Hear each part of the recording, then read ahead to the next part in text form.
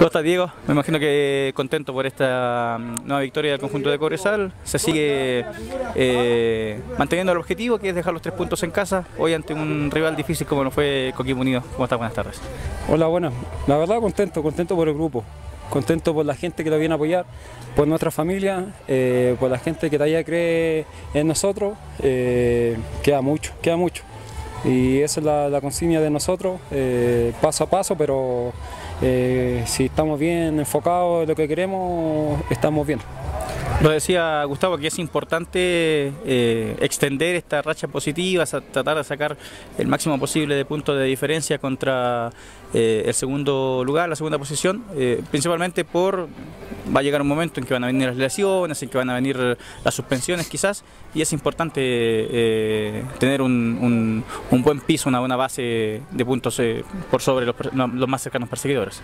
Así es, como dijo el profe, no hay otra, no hay otra vuelta. Hacerse fuerte de local, tratar de sacar puntos eh, afuera y así se puede lograr el objetivo, pero como te digo, queda bastante.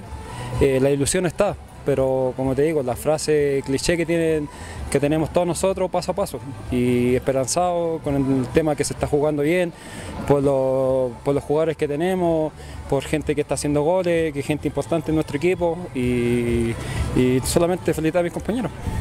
En la parte defensiva, nuevamente queda el arco en cero, me imagino que también contento por eso.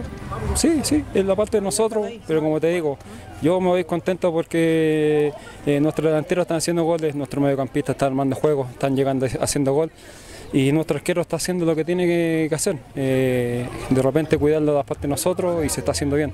Como te digo, es un equipo que, que te digo que quiere lograr cosas, pero como te digo, ojalá que la, la gente nos siga apoyando, solamente eso, solamente yo siempre le he dicho eso, que la gente es poca, pero la gente que viene a apoyar es buena, así que ojalá que siga con esta, con este, con este triunfo, con la gente que vaya a apoyarlo de, lo- de visita, así que solamente la invitación está hecha, parte mía de mis compañeros que nos siguen apoyando.